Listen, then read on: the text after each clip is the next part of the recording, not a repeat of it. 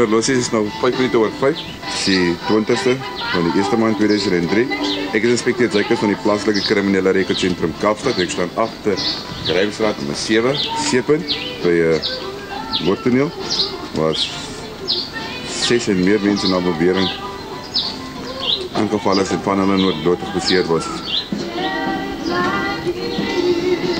Alhoewel hierdie manne daagliks van aangesig tot aangesig met geweld en misdaad kom, was selfs die mees geharde polisieman nie voorberei op die toneel wat hulle binne te wagte was nie.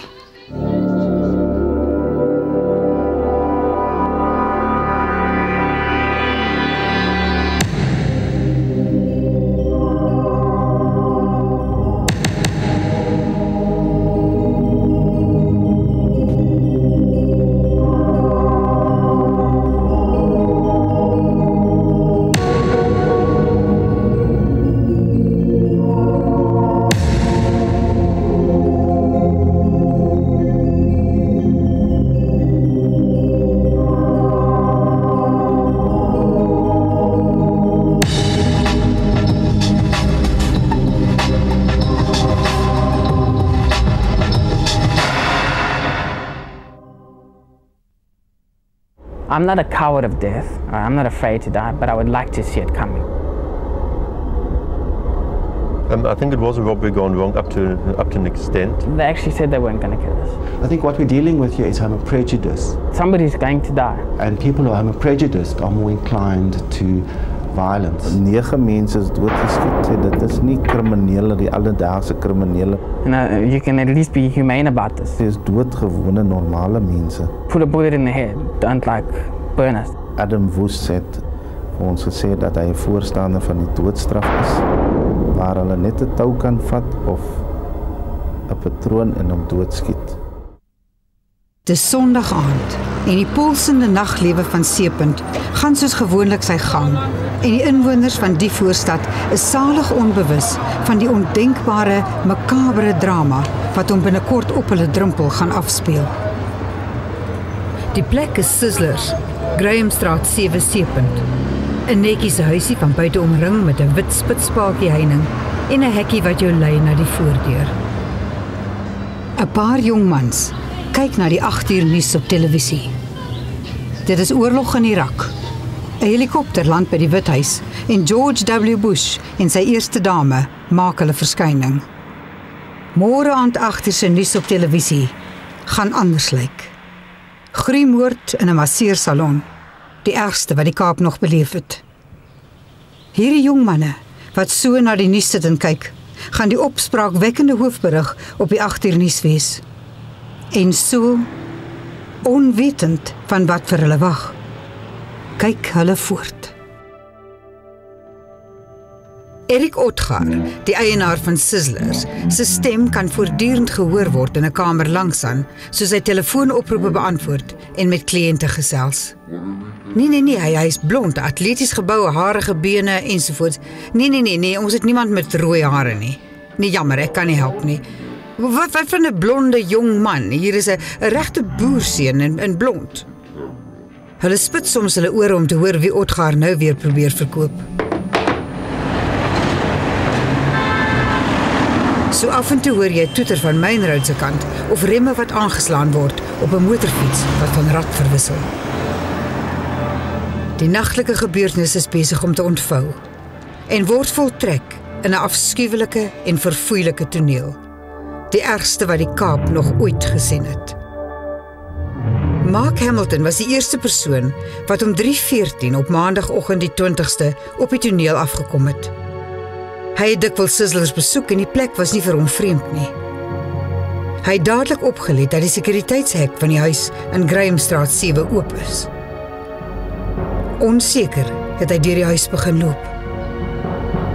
In die eerste kamer links het hy op vier lyke afgekom.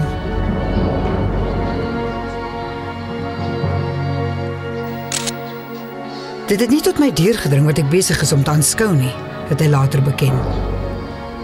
Verstar het hy na die gruisame toneel voor hom gekyk. Kan dit werklik moontlik wees?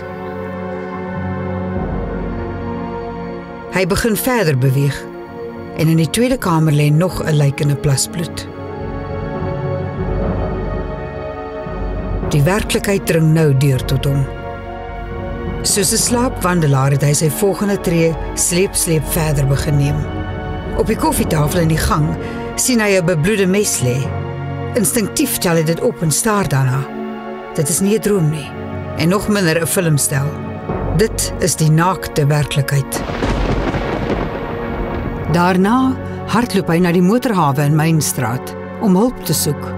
Terwyl die verkeer heen en weer ry, onbewus van die traumatiese nagmerrie wat hy deurgaan. Die noodlottige nag ontplooi in die donkerste donker.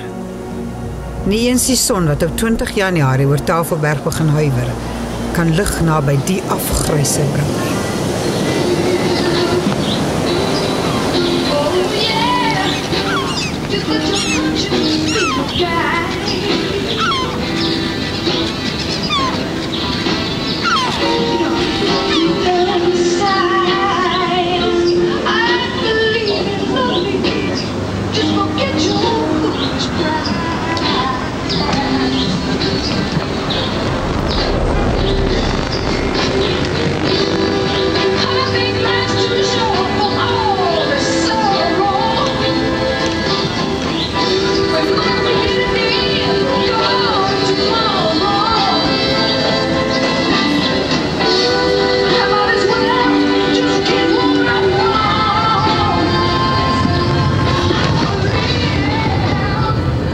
Maandagooggend en die Kaap word wakker. Almal op pad om te doen wat hulle moet doen. 'n Gewone maandagooggend. Maar by Grahamstraat 7 seepunt is dit anders. Soveel vrae om te beantwoord.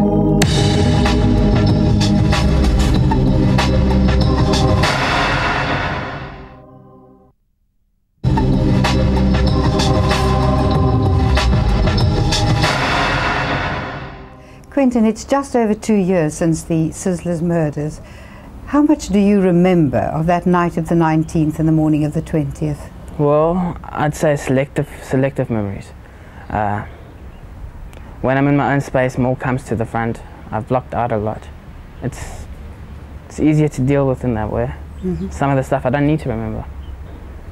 You know, for me, it's dealt with. It's over and done with. I have no regrets of the night because I've learned a lot and grown a lot and been blessed a lot. Now, for the purposes of the program, I, I have to take you back to that night. Do you remember what you were doing when Woest and Theys arrived? Sure. We were busy cleaning the house, doing like a spring clean kind of thing. And then we actually started watching a video. The Broken Hearts Club. Did you recognize them? No, I hadn't seen them before. You didn't. You didn't know them, but they, they but they knew Eric Otgaar. They, they seem to know Eric very well, and they seem to call him by name. And they seem to have known him through working at some restaurants, working at Quay 4 on the waterfront. And Eric went there a lot, obviously, so that's how they knew him. One was a cook. In your memory, what was the sequence of events that night? Okay, they, they came in, they introduced themselves. Did they actually say their names? No, they, they introduced themselves as, as customers, as clientele. Um, they were taken through to one of the back studios, and then the person that led them to the back studio came to the front of the house and was telling us about them. And then they came into the room. They had guns. They said this is a robbery. We didn't really, you don't connect as quickly as you would like to, so we didn't really know what was happening in the beginning. We thought they were joking. Um, they called us all down. They sat us around a table. They tried to tie string around us, which didn't work. So they took the table and the chairs away, and they lay us on our, well, most of us lay on our stomachs. I lay on my back, tied us up, gagged us. And then they just rummaged the house. They went through the house, went through the rooms. They were looking for, well, they said they were looking for money. They went to the safes. They got out a decent amount, I don't know, probably about seven, eight grand. Not much. And then they, they obviously were inclined to believe that there was a lot more on the premises. So they used some scare tactics and they cut the boys' throats, my throat, and they poured petrol on us. Who cut you? Okay, Trevor Theys was the colored guy. Adam Woest was the white guy. The white guy was more, more intense. He, he cut deeper. He was more, more vicious. So I know I was cut by the colored guy because it wasn't that bad. I mean, got stitches, but not bad. And then they found out that there were two other people in the house. How did they find out? One of them actually walked through. One of them never knew what was going on. Didn't know that this was going on. So he walked through and he walked into the middle of it. So they took them to the room that they were in, tied them up as well. Uh, as far as I know, they also cut their throats and doused them with petrol. This was only after a long while. You've got to you've got to understand that they were looking around. How long were they then there? Three hours. So this happened over a period of three hours. I mean, it didn't happen to be like quick wham slam, you know, get the money. And they, they they were very thorough. They were very thorough in what they did. Did you ask them whether you were going to die? Yeah, for sure. We all asked them. We all plead with them. Um, they they actually said they weren't going to kill us. But the thing is, a lot of us knew that it was going to happen. The, the thing is, you don't rob people and not wear balaclavas. You don't leave your face known to everybody. It's not the way it works. So, Eric, the owner of the place, kept on warning us like to try and break free because we were tied up with nylon rope. Nylon rope comes loose, and then one of them got free, went to the kitchen, got smacked, got shot,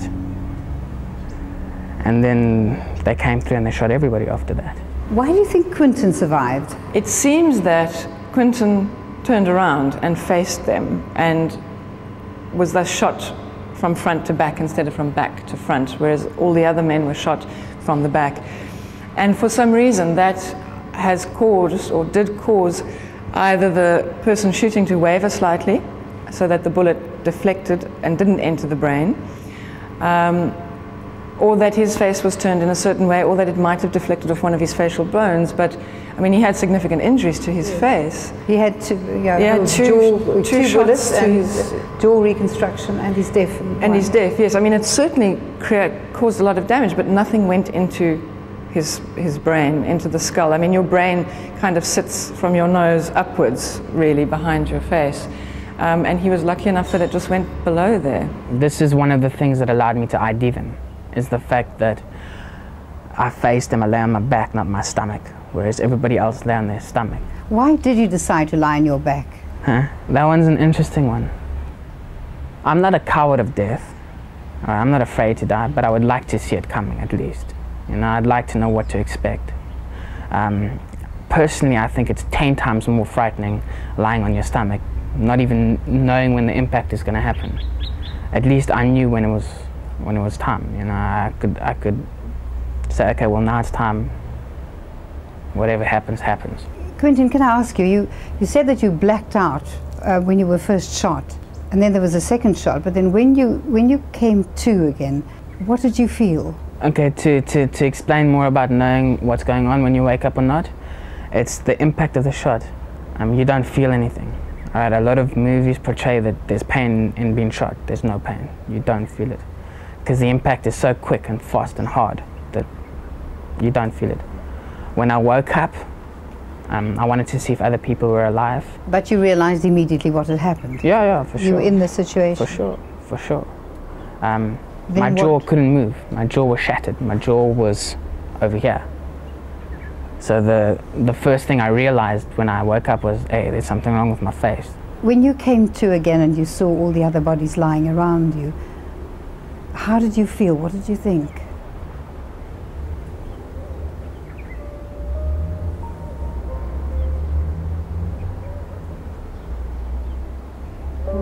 Some of them I had known, you know, you must understand. Um, I didn't work there for long. I'd only been working there for like a week, a week and a half. But they were human, you know. They were, they were. You know, the irony is a lot of them were straight. The irony is a lot of them were doing this just for money. Same with me, you know. We, it's not a profession you choose. It's not the nicest thing to do. Uh, so I felt bad for some of them. Some of them were really young. Some of them were 17. So I don't know exactly what I felt. Uh, the bonds were loose though, which was pretty cool. The nylon was somehow just loose. Um, the door was open. See, the, the the thing was, they bashed themselves for the simple fact that they they were intending on killing everybody and then locking the doors just in case. They left all the doors open. I walked to the bathroom, uh, wanted to see what was wrong with my jaw. I don't exactly remember what I saw. I know I saw a lot of blood because one of the guys, the guy that broke away, the guy that got shot first, he was shot in the stomach and then in the head. So there were only two of us that were shot twice. All the others were shot once, one to the back of the head. Um, he was shot in the stomach, bled profusely, dragged himself through the house, got shot again in the head. So when I walked to the bathroom, I mostly saw the floor. And then after that, I walked through the house, walked out of the house, okay, and then I came out here. I walked up this road. And what I was thinking is like, I, I have to get to a, a safe place. I have to like not die. You see, I think this is one of the things that kept me alive, is that I wanted to live. Um, for sure, I, I believe very strongly that God did play an important role. Um, but I also believe my strong will to survive kept me alive as well. I could have given up and just died, just lay there. I'm happy because I've been given a second chance. Uh, it's also very intense because of the feelings that, that this calls up, the emotions of being so afraid, being helpless. I mean, this, this garage itself brings back a lot of memories. Me walking over this road, going into this garage,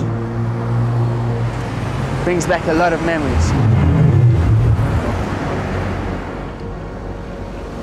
some ladies were shocked and horrified when somebody came out of the dark and they were full of blood, so they ran away.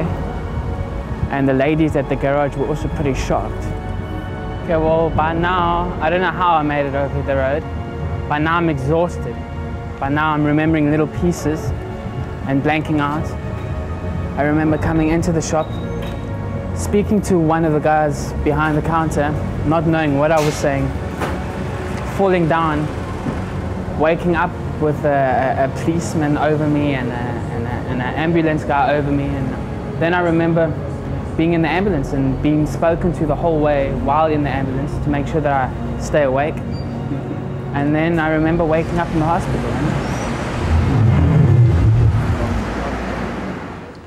Ons bevind ons in Bishop Lewis, waar mense ongehinderd met hulle lewens voortgaan met die rustige Drakensberge in die agtergrond. En dis hier waar die Disa Hof polisiestasie geleë is.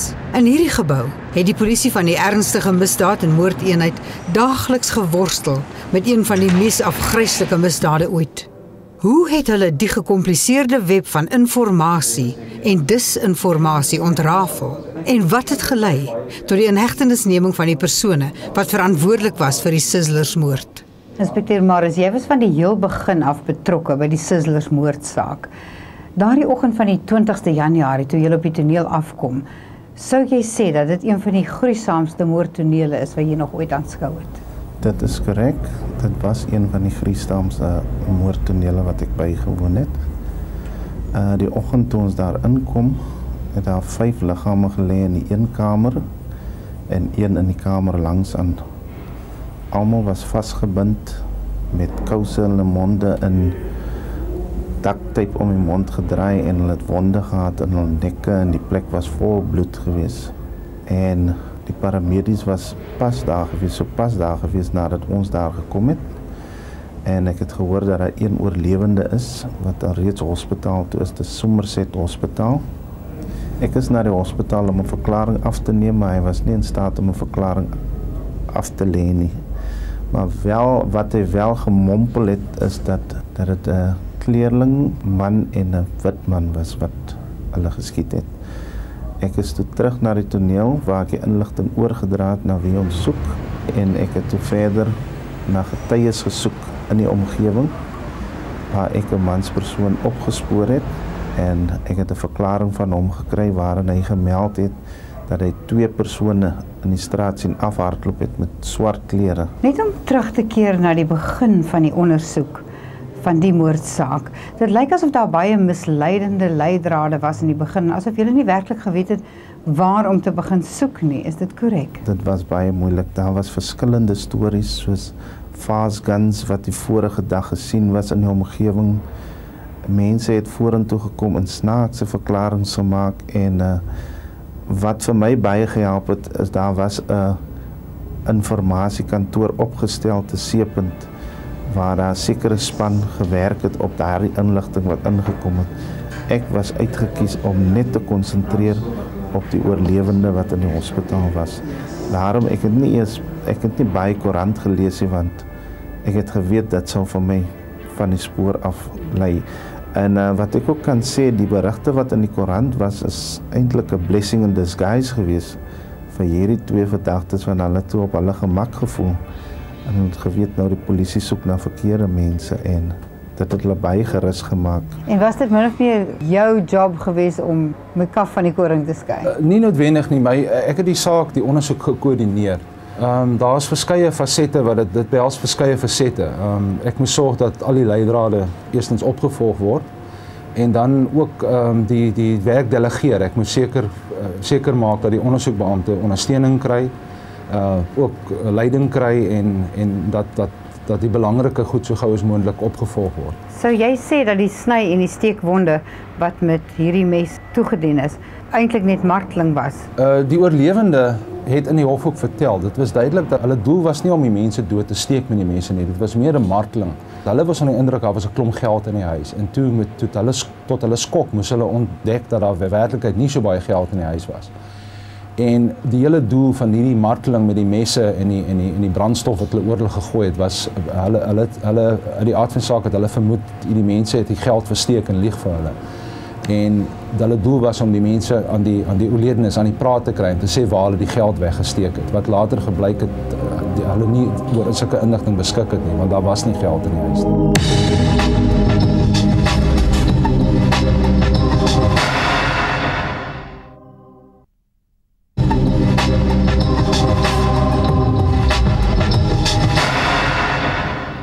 Seems that everyone is still wondering what the motive for these gruesome murders could be. Do you think that they were homophobic murders? Well, I think for me, this thing two years later remains motiveless. Uh, there's no satisfying explanation that I've heard that for me can account for what happened. Um, I know that, they, that, that the suspect said that it was robbery, but there was not a lot of money there, and I can't see how that could have been. And and to keep somebody, or not keep somebody, to keep 10 people tied up for hours and hours and, and play with them with a knife and threaten to do this and threaten to do that, to me just sounds like there's something else. Um, I think it was a robbery gone wrong up to, up to an extent. But I also think that, that the crime was actually homophobic. Why do you say it was homophobic? I think it was homophobic because of the, the level of violence they, that, they, that they used, that they tortured these people for three hours, and also because of the place that they chose. That they, that they chose a place which they knew was going to be busy, and they also chose an obviously gay place. The word phobia uh, denotes an irrational fear. Um, someone is scared of a mouse. The mouse cannot harm you. Or someone is scared of the dark. It's irrational, the dark can't hurt you. But people who are homophobic, and it, homophobia is a reality, are very afraid and they tend to avoid the stimulus. Somebody who's scared of the dark will avoid the dark. And, or someone who's scared of a mouse is not going to go after mice. Mm. Okay. I think what we're dealing with here is homo prejudice. Prejudice is not a fear, it's a, a very strong dislike and irrational anger. The emotional response is invariably anger, and people who are prejudiced are more inclined to violence against gay or lesbian people. I don't quite agree with the fact that a robbery gone wrong. I've always had a gut feeling that something didn't come out. That there, there's something there that should have come out that hasn't come out. It just it doesn't sit right with me at all. Why did you say that? two guys walking into a studio with nine people there don't control nine boys to that extent. Um, I knew a couple of the boys that worked there, and I just don't see them accepting what happened and just taking a back seat. They, would they would have fought. So, you know, nine boys to overpower two is quite easy. Um, even with guns, I just it it's, doesn't have a ring of truth to it. But you know what? It's actually it's very different when you're in that situation. You get put in that situation, and there's two guys holding handguns on you. It doesn't matter whether you're 30 people. Go, somebody's going to die, and and people did try and fight back, and they got stabbed for it. They paid for it. Eric tried to fight back. He got stabbed. He paid for it. Berghaus fought back. He got shot in the stomach and in the head. He paid for it. Die staatslykshuis lyk stil en verlate. Maar op die oggend van 20 Januarie was die staf tot in hulle diepste wese geskok toe die een verminkte lijk na die ander ingebring is. Did they bring in six bodies at the same time? Yes, we had um, first six and then three later on during the week um, as, the, as they died in the hospital. Because they were in intensive care, were they? Yeah. Yes, the, the, there was three, three, and then of course the, the one that's the person, the, the man that survived. Um, but of the people that were taken to the hospital, um, two of the men died almost immediately, but there was a slight delay in getting to here. And then one of the men survived until the end of the week, and then he was brought here. There were some newspaper reports that said that they were actually drowning in their own blood. Does that make sense? It does make sense. I mean, because of the, the gunshot wounds to, to the head, um, a lot of them had uh, fractured the base of the skull. And what happens then is, they then, and with the force of the gunshot wound, there is then a, a way that the blood can come into the back of your throat. It can seep down in. And so, yes, um, you know, and because you now have a head injury, you're not in good control of your airways, so you can't cough it out or you can't swallow it or you're trying to, and so you do get that, that noise and that effect that it's, but I mean, none of that was from a cut throat. Yes. because none of the wounds on the throat or the neck went into Deep enough. Yeah, into into the back of the throat. Can you describe how they looked when they were brought in that morning? Well, they looked pretty awful.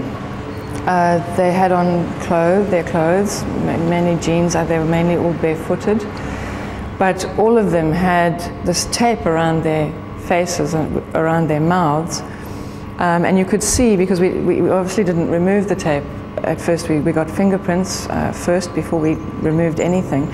Um, but you could see that in their mouths was something as well, so that there was a gag in the mouth and then this tape around uh, the heads, keeping it in. And of course, there was blood.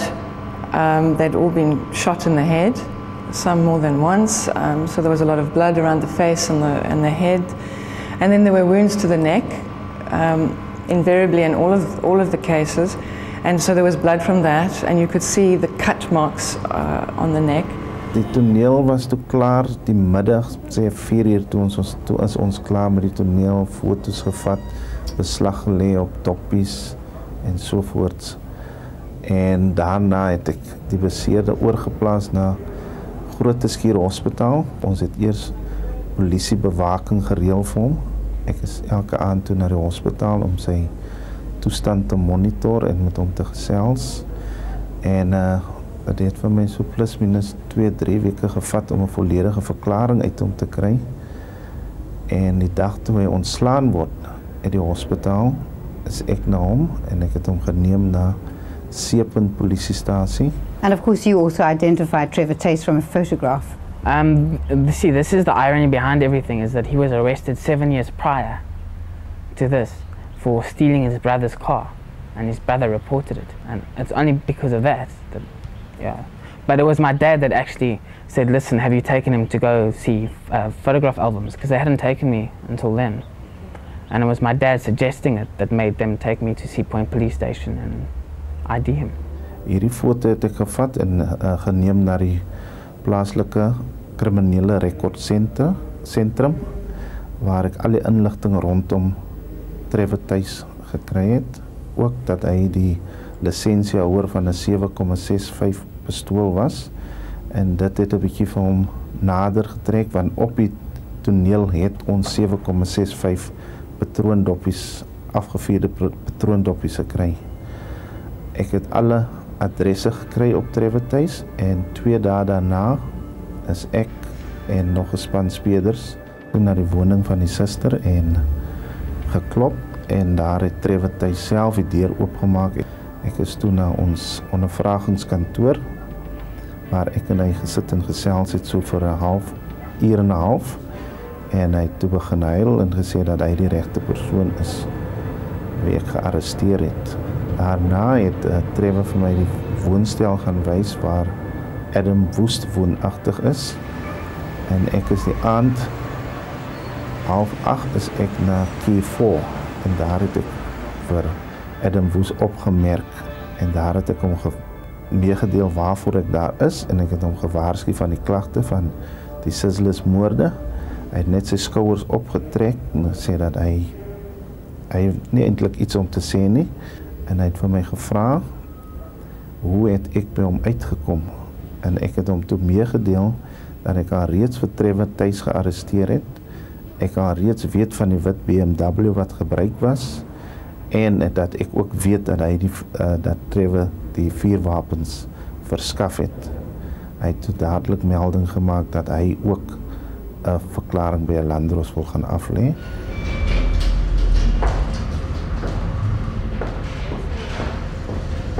Asbie van al die joernaliste was jy seker die nouste betrokke by die Sizzlers moordsaak. Jy was elke dag in die hof gewees. Jy het met die familielede gepraat en jy het ook die familielede gesien in die hof.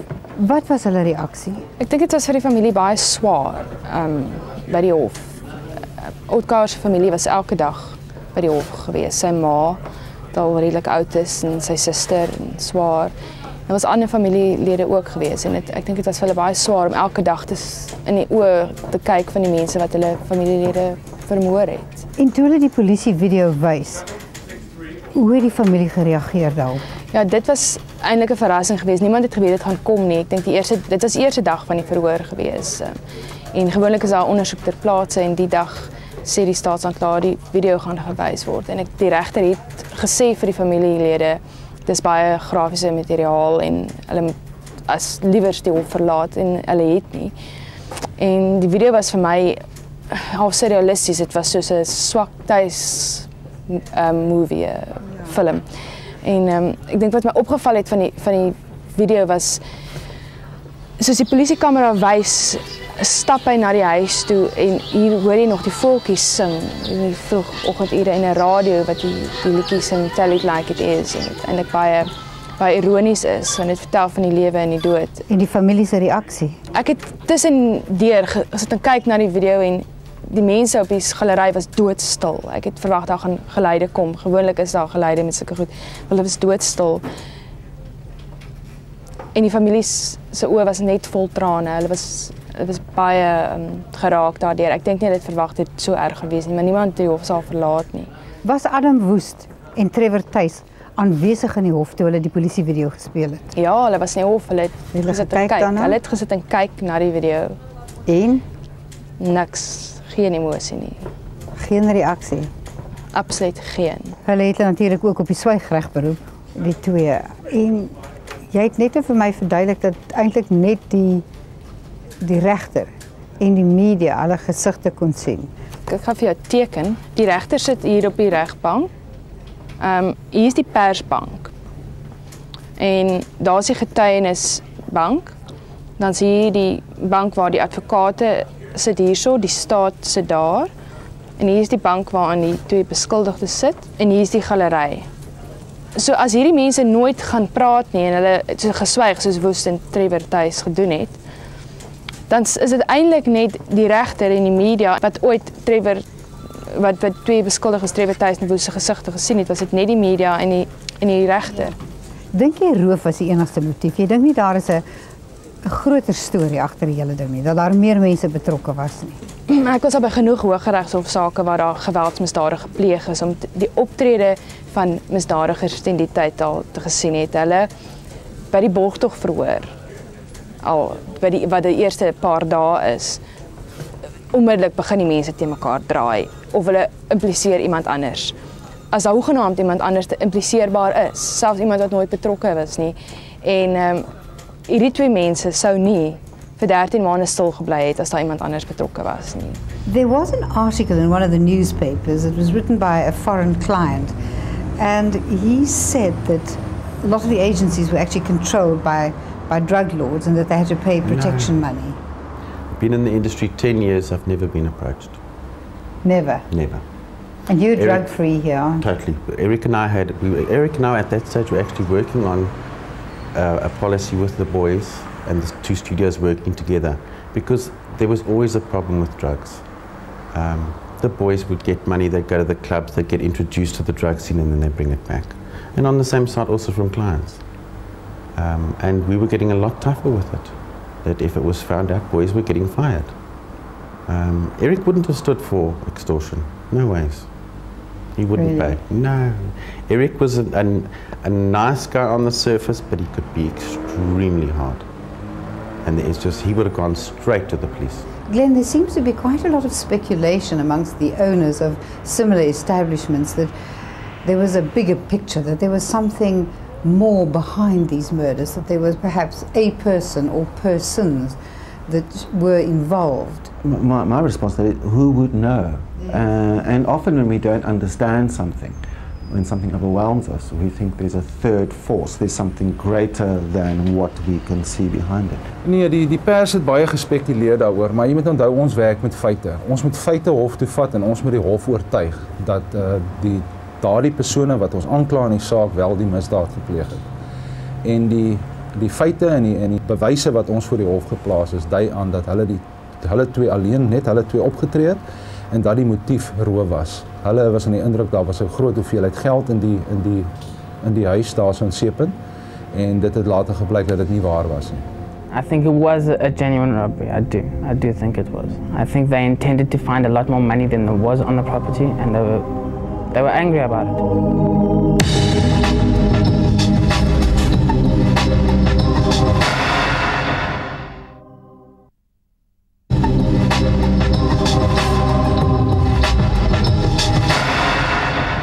Morney, volgens jou, was dit 'n homofobiese moord? In die sterkste terme nee.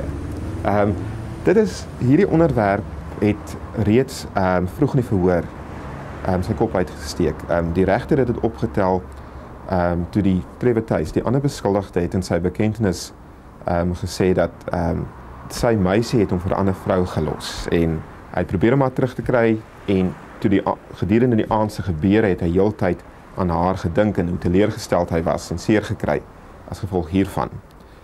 Ehm um, en toe is daar gewonder of dit die motief is. Ehm um, ek het reeds op daardie stadium geweet dit is dit is later eers geopenbaar ehm um, dat Adam vir 'n tyd lank reeds blootgestel was aan 'n gay lewe aangesien ehm um, sy boetie skeef is. En ehm um, dit blyk ook weer eens uit die deskundige verslae dit is opgeneem met hom Adam het in geen onsekere terme laat blyk dat dit nie die motief of dit is nie die motief nie. So jy dink roof was uit en uit die enigste motief. Dit was 'n rooftog wat daardie betrokke aand ehm um, ongelooflik verkeerd geloop het. Ehm um, as jy mens kyk na die omringende omstandighede van wat aanleiding gegee het tot die rooftog is dat Adam en Thys het ehm um, insider information gehad as te ware. Ehm um, wat hulle laat glo het dat daar ongelooflike hoeveelhede kontant uh op die perseel gehou word gesien in die lig van die aard van die besigheid wat daar gedoen is. En gekoppel aan die persoonlike of die geldelike probleme wat tuis blyk te gehad het. Ehm uh, is daar besluit om dan nou op die betrokke aand ehm um, Sislers te roof. Morney, wat dryf mense om so 'n afskuwelike moord te pleeg? Nadat die partye of die die slagoffers vasgebind was. Ons moet onthou hulle was in twee vertrekke gewees. Die groot die groot meerderheid van hulle was in die die een vertrek gewees en meneer Berghaus en uh De Sergio ehm um, was in een van die studio's gewees. En dit was uh onbekend aan beide Adam en en Thys gewees dat daar twee persone in in een van die ander vertrekke was want die deur was toe gewees. Ehm um, en toe dit uh dan nou uh, ontdek is is meneer Berghaus en uh Sergio vasgebind en in daardie vertrek gelos. Ehm uh, Adam was op daardie stadium in die kombuis gewees en Thys was saam met die die ander slagoffers in die die ander vertrek gewees. Berghaus het losgekom. En toe in die kombuis ingekom en ehm um, vir ehm um, Adam aangeval Tuis het moes toe gehoor het dat daar uh, onder ons in die kombuis is, hy's in die gang af. Ehm um, en hy het toe vir Adam bygestaan ehm um, en toe vir meneer Berghaus gepistel oop in die kombuis. Die mediese getuienis ehm um, ondersteun daardie weergawe. Tuis het ook uh, dit erkenne gegee in die bekendtenis wat hy afgelê het. Ehm um, toe was daar 'n uh, onder ons gewees tussen Tuis en meneer Berghaus. Daar is definitief toe skote afgevuur en meneer Berghaus is in um, in die maag gewond. Of dit per ongeluk was of opsetlik, uh, dit kan 'n mens nie sê nie. Maar toe is uh, meneer Berghaus in die kop geskiet. En dit was my argument in die hof geweest dat hierdie skietery of die die die die die bekleierery, die die verwonding was die katalisator. Ehm um, vir wat daarna gebeur het. Van die getuienis blyk toe dan te wees dat hulle van die kombuis af is in die gang. Hulle is in daardie vertrek in waar ehm um, die die ander slagoffers was en elkeen het 'n punt gevat ehm um, en van daardie punt af binne toe beweeg en die persone geskiet. When you went to court and you had to face Adam Woest and Trevor Tace for the first time. No, that wasn't the first time. It was not, no, because you identified them, of course. That was the first time. That was the most intense. My dad was with me. See, the thing is, um, when somebody shoots you, when somebody does something wrong to you, you tend not to forget their face. And the police did some interesting things. It was like a 24 man lineup, which is a huge lineup. It's never that big. And they brought one of the uh, accused brothers in who looked identical. They wanted to try and confuse me.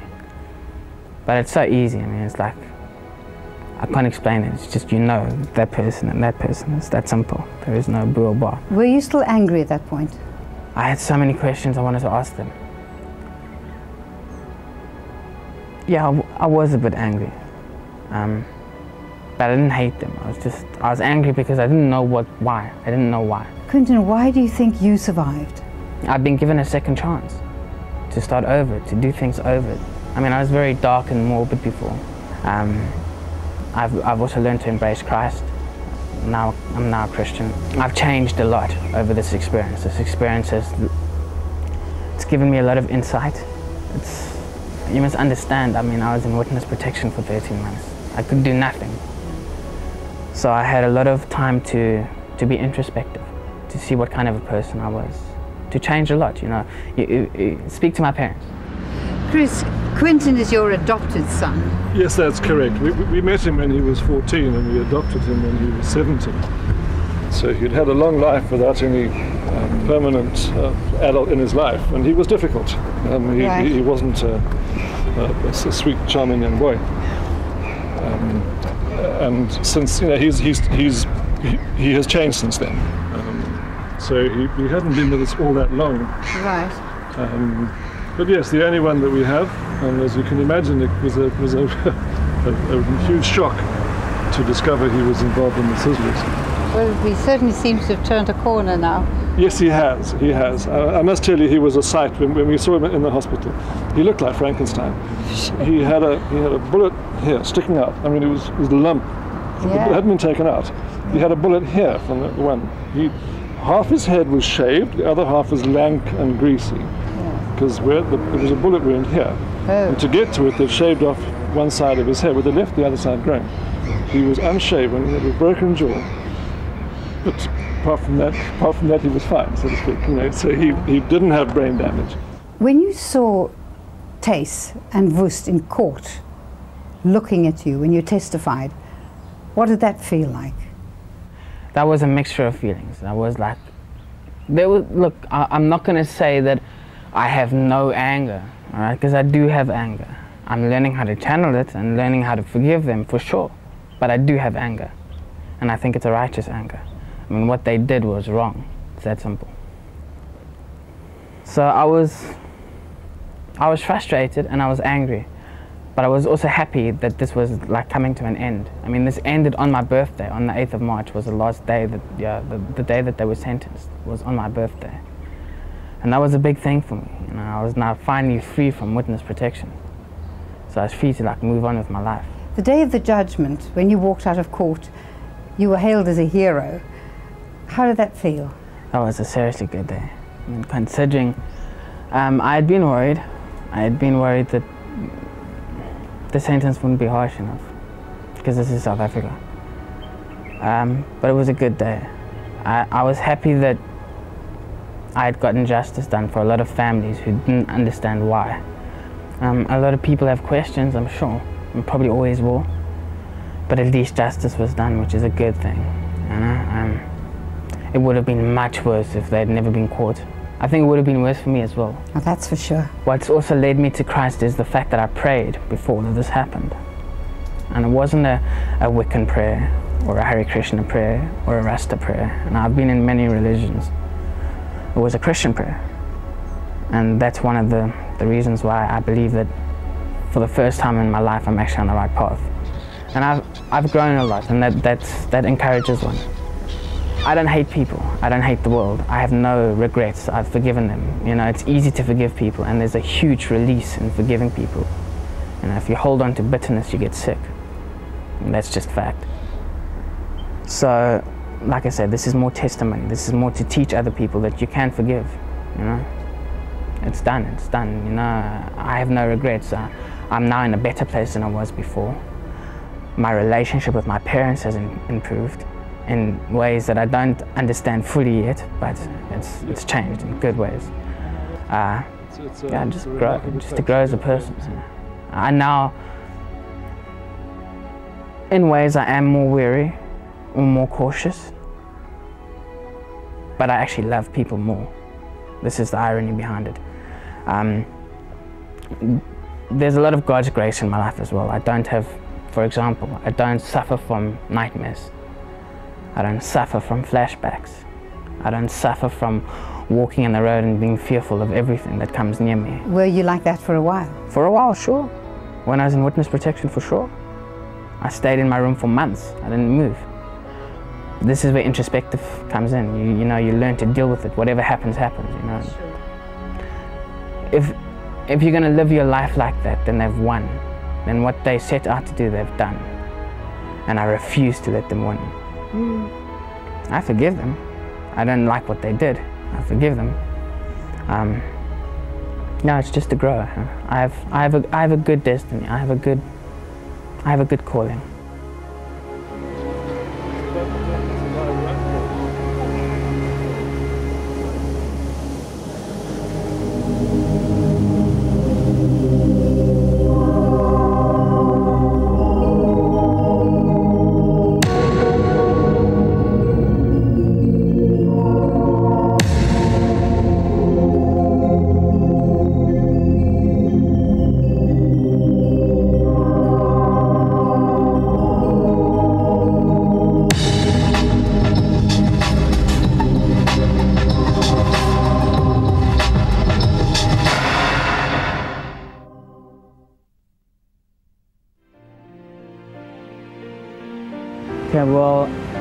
Standing outside here at what used to be known as Sizzlers. Nothing's really changed. I mean, they've put up a black fence, it's taken off a couple of burglar bars, and taken off a wooden door that used to be there.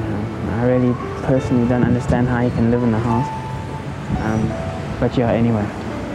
Oh yeah, God is king.